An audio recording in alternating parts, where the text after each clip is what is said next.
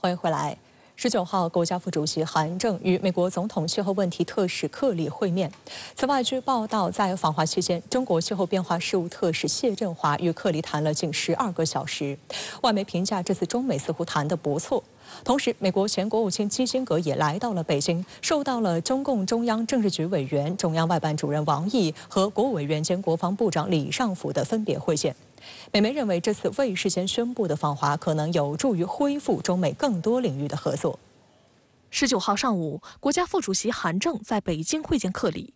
韩正表示，应对气候变化是中美合作的重要方面，要落实两国元首巴厘岛会晤共识，遵循习近平主席提出的相互尊重、和平共处、合作共赢三原则，为中美各领域交流合作创造良好环境。气候变化事关人类可持续发展。中国作为负责任大国，坚持贯彻新发展理念，按照高质量发展的内在要求，积极应对气候变化。愿与美方在尊重彼此核心关切、充分沟通交流的基础上，寻求最大公约数，推动巴黎协定深入落实，为应对气候变化等全球性挑战做出新贡献。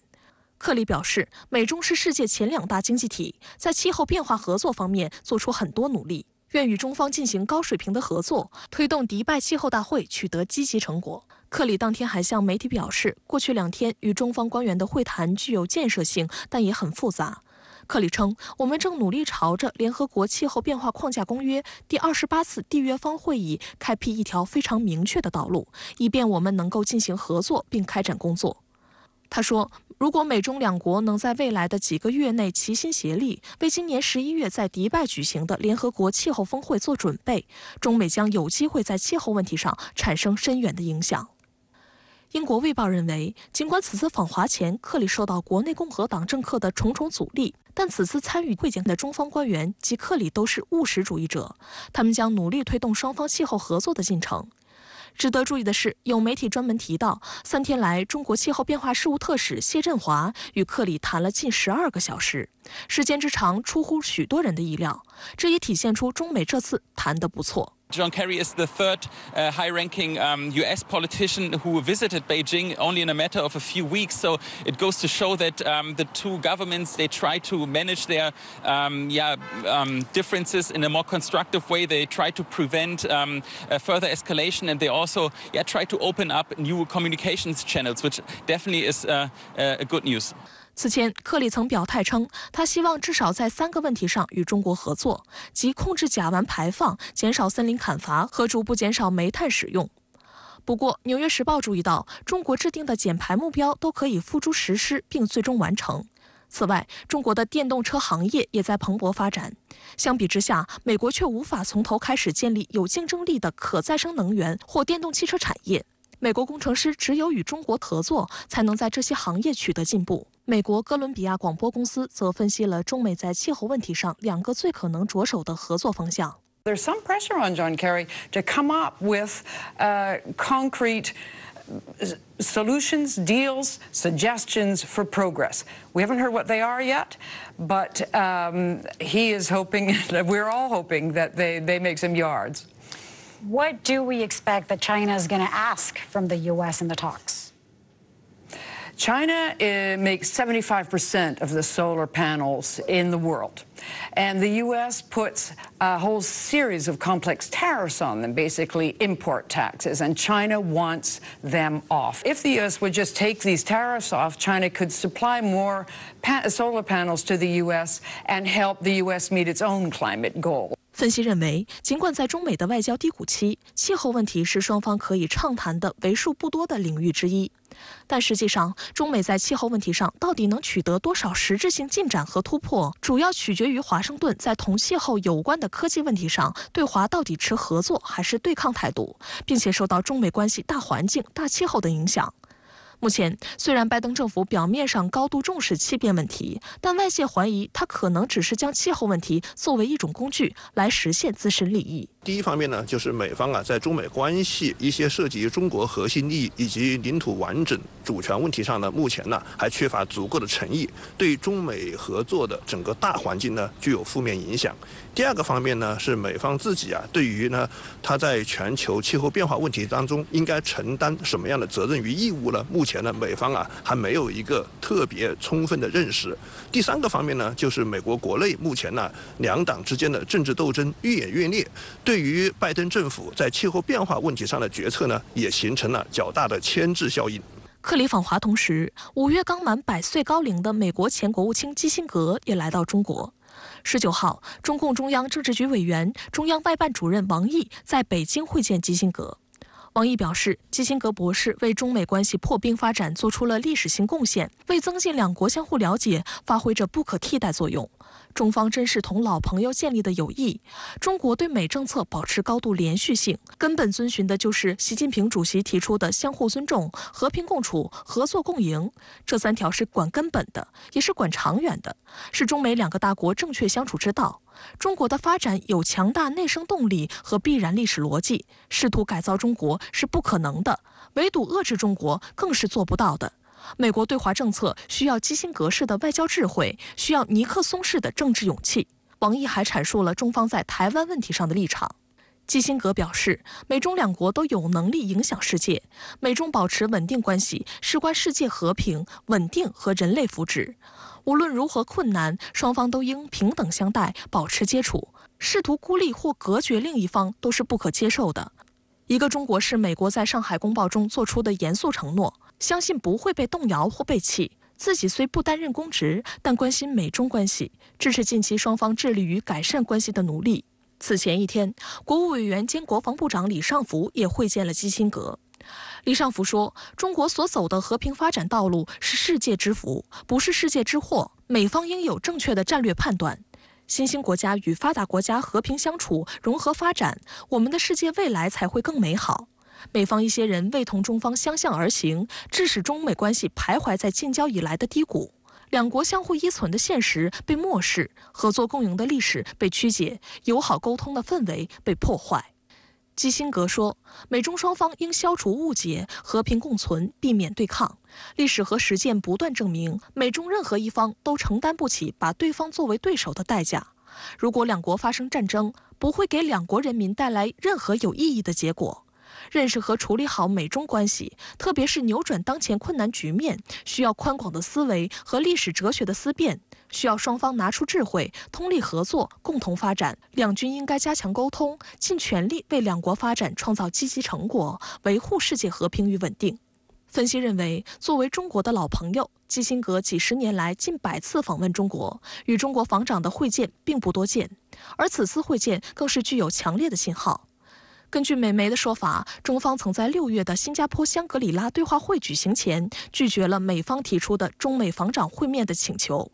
观察认为，在美方反复制造中美两军高层交流的障碍，且迟迟未改正错误的当下。中美两军交流渠道的缺乏，基辛格会见李尚福或起到微妙的沟通作用。基辛格呢，实际上他真正的身份可以说呢，实际上是一个特殊的民间人士。那么他这样一个特殊的身份呢，确实呢，可以为美国军方起到一个牵线人，起到一个牵线搭桥的作用。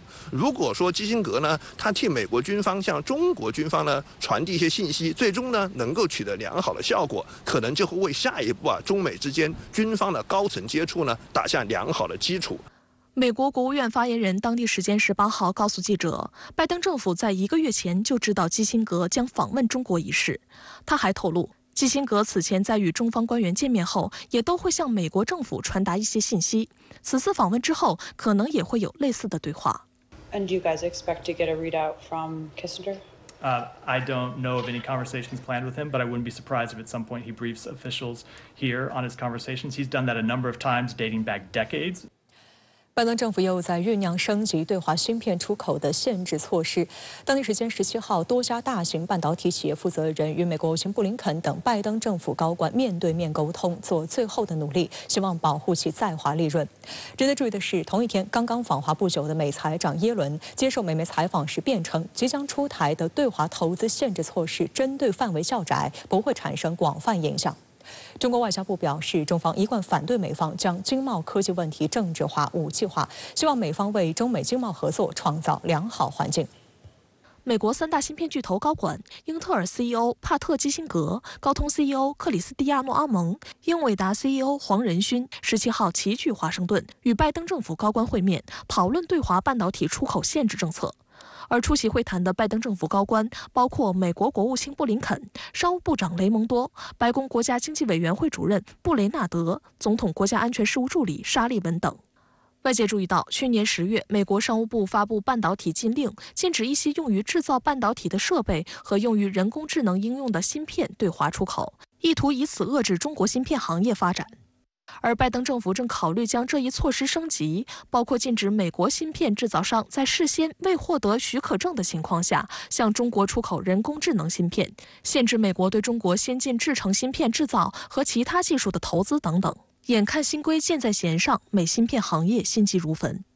彭博社引述知情人士称，三大芯片巨头反对收紧芯片和半导体制造设备对华出口管制。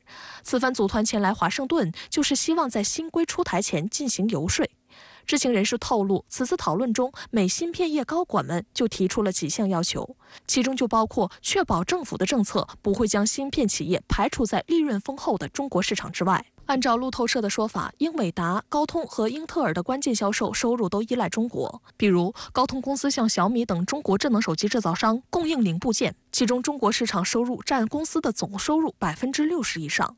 高通也是唯一一家获得美国监管机构授权向华为销售移动芯片的公司。英特尔则将中国视为最重要的销售地区，中国市场销售额占其销售总额的四分之一。上周，英特尔首席执行官帕特基辛格也到访中国，展示其人工智能芯片。而对于英伟达来说，中国为该公司贡献约百分之二十的收入。眼下，英伟达正在向中国市场销售改进的人工智能芯片。拜登政府若收紧出口限制，将对这项业务构成直接威胁。拜登政府所谓的更新和升级呢，实际上还是要进一步扩大对华出口管制的范围。也就是说呢，可能不仅仅限于啊最先进的芯片，会在广度和强度上进一步强化对中国的出口限制。中国作为全世界最重要的芯片消费市场之一呢，对于整个全球芯片行业，包括对美国芯片行业呢，其实都具有不可替代的重要作用。美国芯片行业呢，它也不想啊失去中国这样一个巨大的销售市场。美国芯片业三巨头赴华盛顿游说的同一天，作为美国最有影响力半导体游说团体的美国半导体行业协会也发声明敦促拜登政府停止采取更多对华芯片出口限制措施。声明指出，白宫所采取的限制措施过于宽泛、模糊，有时甚至是单方面的，可能会削弱美国半导体产业的竞争力，扰乱供应链，造成重大的市场不确定性。声明还警告，限制对华销售芯片还可能反噬美国自身，因为此举可能会损害美国国内芯片制造领域的大量新增投资。实际上，美方去年十月发布对华半导体出口限制措施后，反噬效应已经显现。根据中国海关总署十三号公布的数据，今年上半年，中国大陆芯片进口总额下降百分之二十二点四，至一千六百二十六亿美元。彭博社称，到目前为止，受到打击最大的就是美国芯片生产和设备制造商。这些公司也担心华盛顿限制的芯片种类范围扩大。如果进一步限制对华芯片出口，美国芯片公司不仅担心销售额缩水，还担心用于研发的资金也将相应减少。这对美国保持技术优势极为不利。拜登政府对华出口管制的更新和升级呢，一定会对美国自身的芯片行业造成反噬效应。首先呢，就会使得美国芯片行业和全球最重要、最大的销售市场之一呢，实际上相互隔绝。同时呢，鉴于中国目前芯片行业、半导体行业技术呢，也在突飞猛进的向前发展。对于美国芯片行业说，也失去了一个和中国同行进行技术交流的一个绝好的机会。值得注意的是，美财政部长耶伦十七号在印度出席 G20 财长会期间，接受彭博社采访时，又打出所谓保护美国国家安全的旗号，声称拜登政府拟议的对华投资限制措施针对范围较窄。I want to say that what we're doing is not tit for tat. What we're doing is um, putting in place controls that are designed to protect U.S. national security. We're not attempting to stifle economic progress in China, that we have and want to continue to have uh, deep economic ties. After all, this year our trade has reached almost $700 billion. 耶伦辩称，现有对华出口管制以及计划中的投资限制，都不是为了报复中方的任何具体行动，也不是为了遏制中国经济的整体增长，并且这些措施不会对在华投资造成广泛影响，也不会对美国投资中国的环境产生根本性影响。I explained to my Chinese counterparts that if we go forward with these, they would indeed be narrowly targeted. They would focus on a few sectors, in particular semiconductors, quantum computing, and artificial intelligence, that they would contain a combination of notification requirements and in very narrowly scoped um, portions of these sectors um, prohibitions, but these would not be broad controls that would affect U.S. investment broadly in China. 观察指，既要又要的心态让拜登政府正陷入两难。还有分析认为，美国会从维护其技术霸权的角度平衡怎么严卡中国，同时又给中国留点缝隙，瓦解中国自主创新、绝地反击的决心。他接受采访时讲的一些漂亮话，反映出现阶段拜登政府希望通过软化自身姿态，为中美关系的紧张释放压力，从而稳住中国。然而，正如耶伦自己坦诚的，拜登政府针对中国的新一轮的科技投资限制政策已经酝酿多时，只等最后的靴子落地。因此，无论耶伦如何用话术包装美国的对华竞争。美国泛化所谓国家安全概念的霸道举措，背后的居心还是打压中国，维护美国自身利益。在接受彭博社采访时，耶伦拒绝给出政策落地的具体时间表。不过，据消息人士透露，针对中国尖端技术的这波限制政策，拜登政府有可能在八月底就会敲定。十八号，中国外交部记者会上，发言人表示，中方一贯反对美方将经贸科技问题政治化、武器化。我们认为，对正常的技术合作和经贸往来人为设置障碍的做法，违反市场经济原则，扰乱全球供应链稳定，不符合任何一方的利益。我们希望美方将拜登总统无意对华脱钩、无意阻挠中国经济发展、无意围堵中国的承诺落到实处。为中美经贸合作创造良好的环境。美国说一套做一套的摇摆不定，它背后折射出的还是美国长期以来挥之不去的霸权焦虑。必须认识到，美国今天对华政策以竞争为主的大方向不会因为任何人的漂亮话而改变，而中国需要更多防范的，可能是美国在这种既要又要心态驱使下的啊更加频繁的言而无信和出尔反尔。好，相关话题马上来连线特约评论员更新。更新人你好，百岁老人基辛格博士不远万里，不顾炎热天气来华访问，并会见中央外办主任王毅和国防部长李尚福。那您对此如何观察？说起基辛格博士啊，是中国人民非常熟悉的老朋友、好朋友。今年他迎来了自己的百岁诞辰。当年基辛格博士为了摆脱当时美国的困境。致力于缓和美苏紧张关系，为打开中美关系大门做出了重要贡献，也使冷战改变了路径，逐渐走向终结。他的务实而不教条、均衡而不偏激的政治性格，与善于处理各类老大难及危急纠纷的杰出能力，都值得今天处于百年大变局中的各国政要，特别是美国政学界同行，好好学习仿效，温故知新。当年中美两国能从那样刀枪相见的险恶形势下化敌为友，一改两国及世界发展进程，基辛格博士功不可没。最近，他也常常告诫美国政界人士应该正确看待、包容中国的发展，避免重走大国对抗的危险道路。中国人有句老话：“不听老人言，吃亏在眼前。”我们所有人都应该尊重这位世纪老人，多听听他充满人生智慧的意见和呼声。推动中美关系尽快恢复，不断前行。这次基辛格博士在中美关系发展的关键时刻，不远万里，不顾炎热的天气来到北京，而且一到之后就先后会见了中国国防部长李尚福和中央外事办主任王毅先生，很明显是受到了美国政府的重托。再加上日前谢峰大使也和美国国防部高官会面，可见来意明确且出手不低。这是美方既想尽快与中国军方恢复交流，又不愿意在制裁问题上退让。其实美国大可不必如此的费尽心机，中美及军方关系不至于因一两件纠纷就停止互动，双方沟通的大门也一直是敞开的。只是美方有时会自寻烦恼、自设障碍、自取其扰，应该光明磊落，尽快纠正错误做法，让中美特别是军方的互动更快捷、更便利、更顺畅，尽快的回归正轨。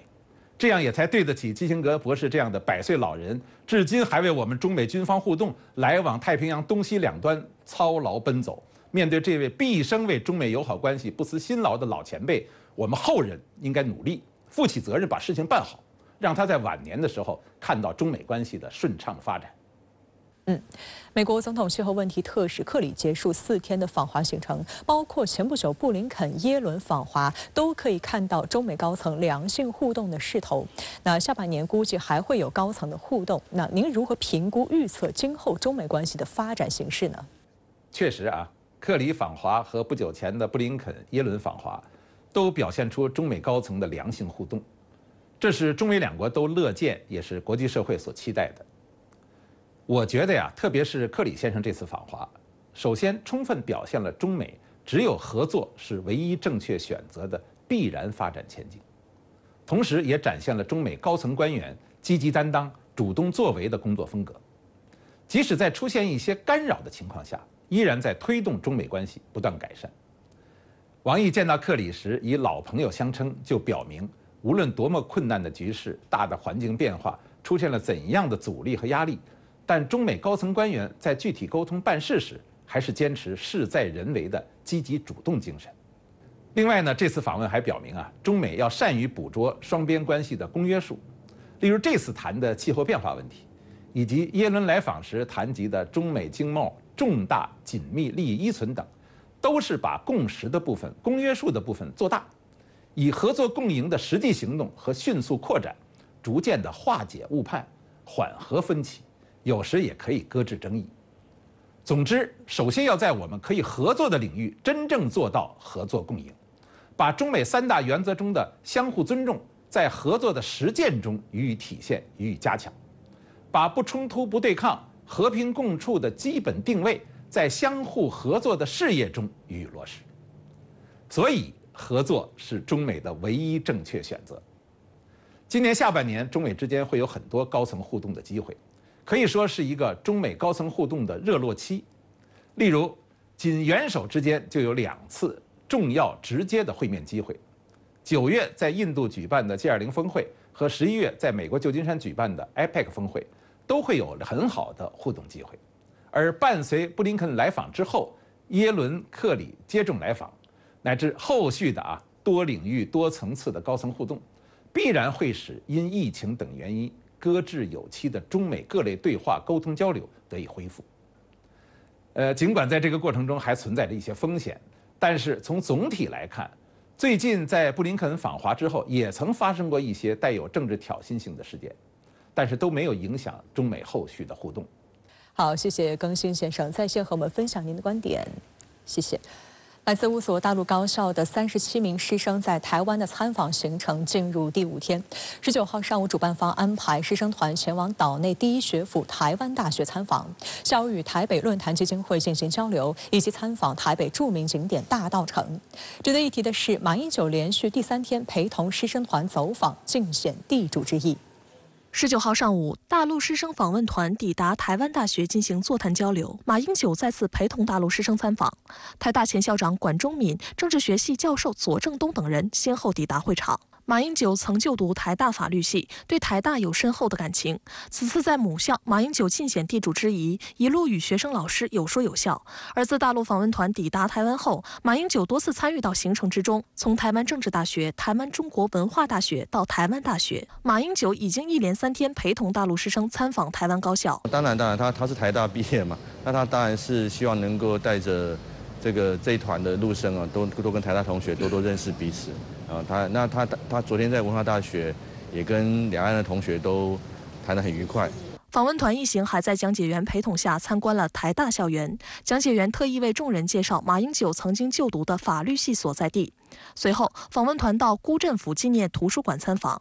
值得一提的是，一九九三年，辜振甫在担任台湾海峡交流基金会董事长时，与大陆海峡两岸关系协会会长汪道涵在新加坡举行了深刻影响两岸关系的汪辜会谈，推动两岸关系的发展迈出了历史性的重要一步。大陆师生团成员、湖南大学学生郑一轩表示，此行交流了学校文化，感受到校园内浓厚的文化气息，期盼着能进行更深一步的交流。首先是我们都是年轻人，然后其次我觉得我们都是一家人，所以我觉得我们之间的沟通和交流就像朋友一样，然后也希望我们可以有更深更好的感情。同为师生团成员的北京大学学生文云浩表示，这是他第二次来到宝岛台湾，一些日常学习生活，包括喜欢的影视音乐作品。等都是与台湾青年交流时的热门话题。最近在影呃酒店里面，可能打开电视也会看到，包括《甄嬛传》呀这些的大陆的一些我们非常喜爱的作品，呃，在这边呢在播放。那么我们大陆青年呢，嗯，很多时候也会看很多的台湾的这些影视作品，是非常知名的。这些的交流，我想能够很好的促进我们两岸青年之间拉近我们彼此的距离，来交心、交往、交融。在行程中，奥运冠军丁宁的一名铁粉 Ruby 专程来到台大校园内，在一旁拉着“鲲鹏展翅宁世强，百战不殆终为王”、“丁宁时代”等横幅，引人注目。据了解，丁宁后来为其签名，满足了粉丝的愿望。Ruby 向记者介绍，自己从2015年苏州的一场球赛起开始喜欢丁宁，特别欣赏丁宁的运动精神以及球技。他还多次前往现场观赛，为丁宁加油鼓劲儿。大陆师生团来台第五天，上午前往马英九的母校台湾大学参访，下午呢则与台北论坛基金会进行交流。陆生和我们分享今天的交流心得，表示呢相信和台生的交流不会有障碍，因为大家都是年轻人，也都是一家人。人陆生呢也提到说，看到台湾的街道名称，让他们倍感亲切，也更感觉到两岸是一家人。针对有民进党民代称师生团成员提及所谓同根同源，说是统战，肖旭岑直呼离谱，把中华文化称为统战，是侮辱台湾人的智慧。真的觉得是非常侮辱台湾人，因为如果你你你说不是同根同同源，难道你是荷兰人吗？你是美国人吗？所以我觉得民进党立委。真的已经是黔驴技穷了。当天下午，大陆师生团与台北论坛基金会进行了闭门交流，马英九也继续参加。作为岛内第一个跨党派的智库，台北论坛基金会由台外事部门前负责人程建仁在一九九三年成立，二零一一年由卸下台安全会议秘书长职务的苏启接任董事长，董事会成员涵盖蓝绿阵营人士。据悉，多年来，台北论坛基金会在两岸关系、台湾经济及政治等重要议题上凝聚台湾共识，为当局提供理性因应方案。此后，师生团一行来到台北著名景点大稻城。位于淡水河畔的大稻城是早年福建移民来台后最初的栖身之地，也是两岸贸易的重要码头，是两岸历史连结的重要见证。据台湾《旺报》报道，台湾实践大学前校长陈振贵透露，他与这次率团访台的北京大学党委书记郝平交谈时，郝平很想知道他们这一团来台是否受到欢迎。陈振贵则回应称，不论媒体所属立场如何，在对大陆交流团的呈现上，舆论都算友善。事实上，党内舆论对这次大陆高校师生团访台不只是友善，更充满期许。台湾《中华日报》十九号刊发题为“期许陆生访台，为两岸和平开启一扇窗”的社论指出，这次陆生团访台为当前紧张对峙的两岸关系带来和解契机，也是重新找回台海和平的希望。因为既然青年是掌握两岸未来的关键，早一步交流互动，并进一步消弭歧见，必然对维护两岸关系有正面注意。深切期望这次陆生访问团是打破阻碍台海往来那道高墙的第一步，双方共同努力化解歧见，迎来和平的春天。你看那些陆生来到台湾，这就认识台湾的开始啊！就是两岸的人民，我们可以互相了解。那这些所有的交流、接触、沟通、认识，不就是一个又一个的和平种子吗？台湾联合报十八号刊发文章指，台湾与大陆虽然有意识形态的差异，但这不是拒绝与中国大陆交流的借口。两岸毕竟同为中华文化的继承者，同时也是炎黄子孙的后代。当台湾拒绝对话与交流，不但不利于双方关系的延续，更会让台湾陷入兵凶战危的险境。此刻的台湾应把握陆生访台的契机，营造出未来与中国大陆对话与合作的空间。毕竟，兵戎相见非两岸之福，和平交流才是台湾必须正视的课题。台湾媒体人王浅秋则表示，两岸文化同根同源，民进党种种限制两岸交流的动作，是害怕基于意识形态的谎言被戳穿。反而我们台湾的孩子现在被限制去，难道是我们民党政府怕被发现我们的跟我们的文化是一样的吗？哦，那到底民党在怕什么？看起来就是缺乏自信，也担心选票流失，怕他们的谎言一再的被戳破而已。六月二十七号，匈牙利外交与对外经济部部长西雅尔多彼得率团出席了在天津举行的夏季达沃斯。此后，西雅尔多飞抵深圳参访新能源企业。时隔四年，他再次接受深圳卫视专访。匈牙利被称作最西边的东方国家和最东边的西方国家，面临着美国的压力，但毫不屈服。由于仗义直言，西雅尔多也经常出现在中国的舆论场中。那么他对这趟中国之行有何感悟？对中欧关系有何见解？对俄乌冲突又有何观察？来看专访。Mm, because I know in Hungary there's a opening to the east policy, right? Do you think it's highly compatible with China's Belt and Road Initiative? Although we very clearly belong to um, Western integrations when it comes to uh, um, military defense, economy, political integration, so European Union and, and NATO. But we, um, we do have to be realistic and we do have to understand that uh, we have to have a uh, effective outreach to the east. We prove to be right. Uh, you know, I mean, China has now a higher share when it comes to global GDP than the European Union which has never been the case before when it comes to labor force, when it comes to financial assets. Obviously, the Eastern companies are more, um, let's say, uh, successful or uh, more uh, effective.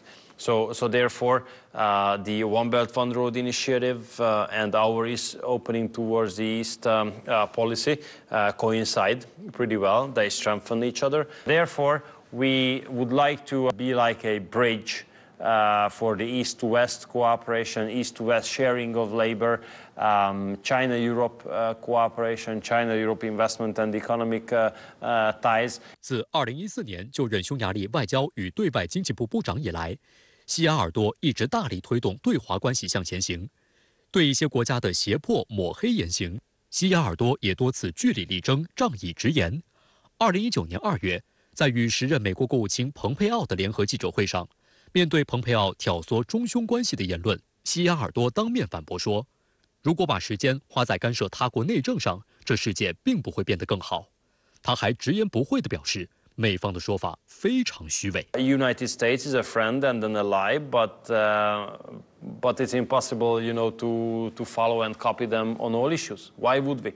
The Americans represent American interest, which is fine, and we Europeans should represent European interest. I give you one example. As an economic uh, response uh, to the situation created by the war in Ukraine, um, the American administration has passed the so-called Inflation Reduction Act, gives a priority in a totally shameless way uh, to American companies uh, countering the European companies. So the Americans have found an economic answer to the war, which is good uh, and favorable from the perspective of all American companies. Now, we Europeans, while the American administration prioritizes the American companies against the European companies, so the, the European companies are losing a lot of a lot of uh, competitiveness, uh, unfortunately, because of the not sovereign decision-making procedure of the European Union. I noticed that some U.S. media just label the Hungar Hungarian government as like pro-China or something. They, are always labeling. Yeah, you know, labeling, judging, criticizing, lecturing. I mean, these are all in the toolkit uh, of international liberal uh, media. Unfortunately, we have to live with that. But we should not be hindered uh, by this labeling from serving our own national interest. Because we have to understand we should not satisfy the expectations of the international liberal mainstream we should satisfy the expectation of our own people. So that's the reason why uh, the Hungary opposed sanctions against Russia in EU, right? Well, uh, we have more reasons for that. First, that uh, we cannot recall any sanction policy which would have been successful. This is number one. Number two, factually speaking, these sanctions are more harmful to the European companies than to the Russian economy. Third, that uh, we Hungarians want peace. We are in the neighborhood of the war. The negative impacts of the war are extremely serious uh, on us, economically speaking, socially speaking. Uh, so, so we want peace as soon as possible, and we do believe that concentrating on creating peace would be much more useful than just uh, digging into the to the sanctions. 截至目前，欧盟已经发起了十一轮对俄制裁，但匈牙利认为，欧盟对俄罗斯的制裁并不成功，不但没有促进和平的到来，还损害了包括匈牙利在内的欧洲国家的利益。If I recall my memories uh, during the uh, a discussion about the first sanction, first sanction package, I clearly remember the arguments. The arguments were that the sanctions will bring Russia on its knees, economically speaking, so Russia will not be able to continue the war, so the war will be over. Now what happens, 10 packages after the first uh, package and uh, one year and uh, or almost one and a half years since the war has broken out, Russia might have uh, been uh, confronted with economic challenges because of the sanctions, but they are definitely not on their knees. And uh, the war is not um, coming closer, uh, I mean, the situation is not coming uh, closer to, to peace, but going towards the war. So these two uh, targets, which have been attached to the introduction of the sanctions, failed. So, so therefore, why should we continue? So uh, in, I think in a normal way of thinking, if you try something 10 times and it doesn't work out, do not try it 11th time. So regarding to the Ukrainian crisis, China has already issued a document on political settlement. So what's uh, Hungary's opinion on China's peace plan? Well, we support it. We support it because it's about peace. We are, we are happy that it exists and it's about peace because there are hardly any other uh, peace plans. And we do hope that uh, uh, this uh, peace plan will be on the agenda of the relevant uh, international organizations and institutions. I mean, ceasefire has a limited chance until the Americans continue to equip the Ukrainian army with uh, additional uh, weaponry. We do not take part in delivering weapons uh, to Ukraine we are the only country in NATO which uh, does not deliver weapons uh, to Ukraine. We will not deliver uh, weapons uh, at all because we do believe that uh, delivering weapons just uh, contributes to the um, prolongation of the war and brings a big bunch of risk of escalation, which we definitely do not want. So ceasefire should be very important to take place as soon as possible, and then peace talks.